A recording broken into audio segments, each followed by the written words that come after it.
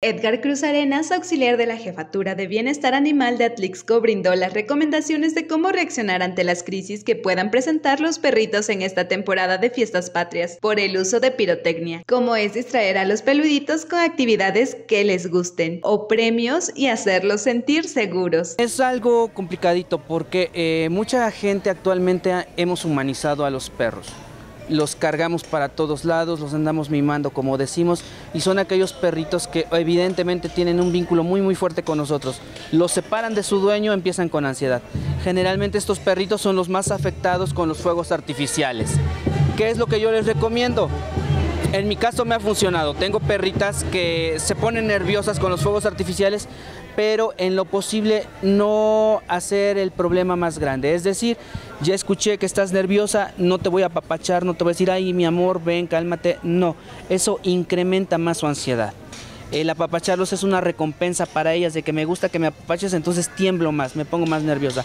Hablarles serenamente, por ejemplo, mi perra Sura, eh, negrita, tranquila, le doy una caricia, vente, vamos.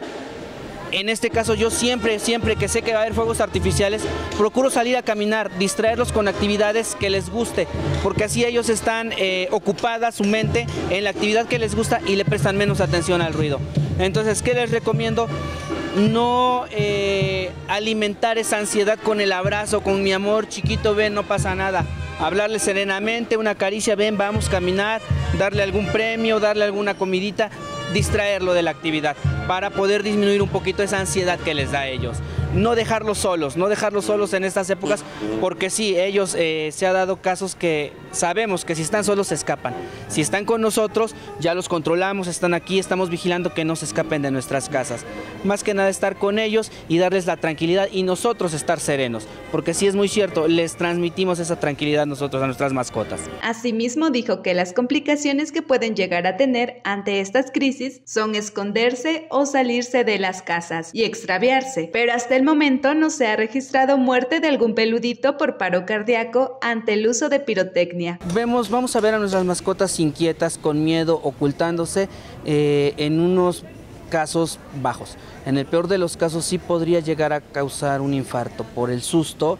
Eh, aquellos perritos, aquellos gatitos que eh, no están acostumbrados, su ritmo cardíaco obviamente va a empezar a, incrementar, pudiendo llegar incluso a provocarles un infarto desde que tengo uso de memoria no hemos recibido ni aquí ni en otros lugares donde yo he vivido eh, reportes de perritos que hayan muerto. Sí hay mucho reporte de perrito que se espanta por el ruido y se extravían. Lo van a ver cuando son eh, en estas épocas, en diciembre.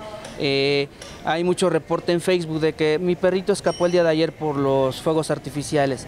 Es lo único que hemos llegado, pero afortunadamente no nos ha llegado algún reporte en el que nos digan, sabes que mi perrito tiene problemas cardíacos, se desmayó, se acaba de infartar por el problema de la pirotecnia. Afortunadamente no lo hemos tenido. Finalmente comentó que la pirotecnia de bajo impacto no debe de sobrepasar los 87 decibeles y es tolerable para las personas con autismo, las aves, los perritos y gatitos. Sin embargo, el precio de esta pirotecnia es mayor y aclaró que se pueden reportar a la Jefatura de Bienestar Animal o a la Policía Municipal el mal uso de pirotecnia hacia los perritos de la calle. Para que sea considerada una pirotecnia de bajo impacto, eh, no debe de sobrepasar los 87 decibelios, que de acuerdo a estudios eh, es un rango que pueden soportar muy bien personas sensibles a los sonidos fuertes, a los estruendos y también personas con autismo, que son, eh, es un grave problema para ellas. Y obviamente también beneficia a nuestras mascotitas, que no todos, claro, no todos, pero sí algunos perritos, gatitos, aves más que nada muestran sensibilidad a esos estruendos. Entonces la pirotecnia de bajo impacto podríamos dividirla en aquella que no alcanza los 87 decibelios y aquella que nada más es el juego de luces.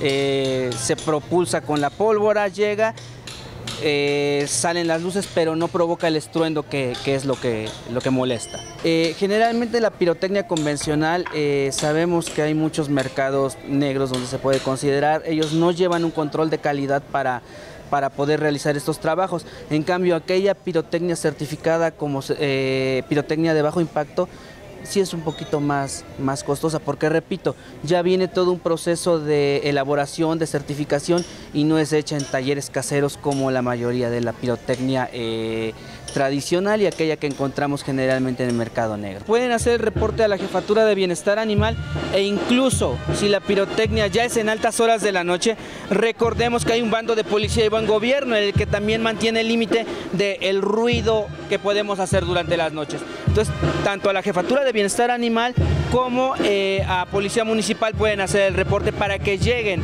a invitar a aquellas personas a que disminuyan su actividad. Para STV Puebla, Olimpia Paredes.